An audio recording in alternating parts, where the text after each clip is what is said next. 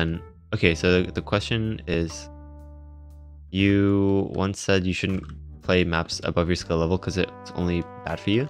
But if you can actually play them, then should you play them more?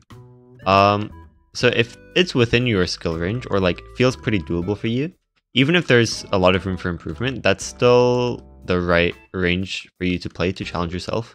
The problem is when like you completely can't like make sense of the map at all. Like the map is just completely too hard for you.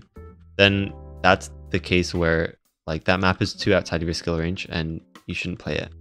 So it's like uh, it, it's kind of like when you're learning a language and if the sentence like kind of makes sense, but there might be one or two words that you don't know, and that's called comprehensible input.